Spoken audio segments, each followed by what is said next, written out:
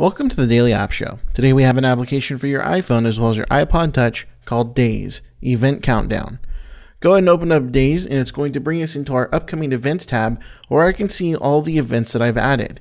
If I tap on one, it's actually going to show me the photo full screen and then show me the event name, how many days I have left, and then I have some options down at the bottom such as edit, favorite, and then share. So if I tap edit, what it's going to allow me to do is edit the photo, the title, the date, and also the category that I've put it into. And tapping on any one of those will go ahead and change it. If I unfavorite, it's going to remove it from my favorites, and then where I can favorite it again. And then I have my share button, which if I tap share, it's going to crop down the photo. I can write a message up here at the top,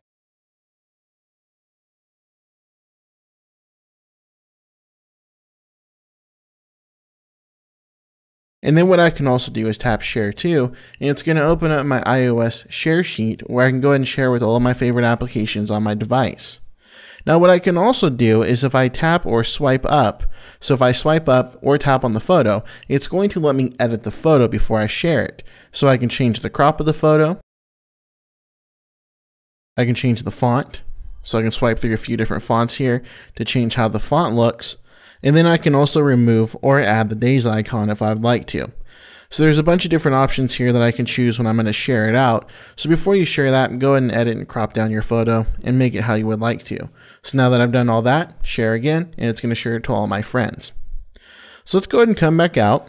Now that I'm here on this on this item, if I swipe up, it's going to bring me to the next event, and swipe down will bring me back to my list of events. So what, what if we wanted to add a new event? I'm going to go ahead and tap the plus button up here, and here's a blank slate. So now what I do is tap to add a photo. We can either take a photo or choose one from our library. So I'll go ahead and choose this photo. And now let's give it a title.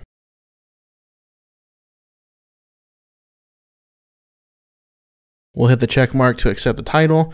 We'll do the date now. Let's go ahead and say this one is going to be for the 22nd of February 2015, but notice that I can move any of the sliders to select whichever date I would like to.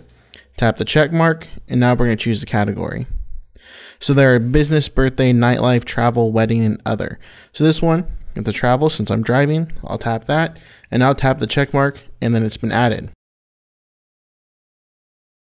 Now up in the top left hand corner, if I tap on that, it's going to open up my side menu. Here I can go ahead and view different filters and categories. So here I can view my favorites. Open up the menu again, I have previous events, any event that have already happened, I can see in this list. Go and hit it up there again. We have all of our categories, which is our basic default view that we can see. And then we can also filter down per category. So if I only wanted to see the events that are coming up for my travel, I'll tap travel and here are two travel events that I have and tapping on those will obviously show me all the detailed information that I've inputted for that specific event. And then we have our settings. In the settings, we can get event reminders on the day of an event, or we can go and tap on there one day before, one week, two weeks, one month, or one year before the event.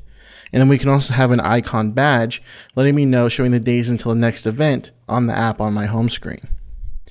So once again, this application is called Days Event Countdown. If you like it, be sure to pick it up in the App Store today.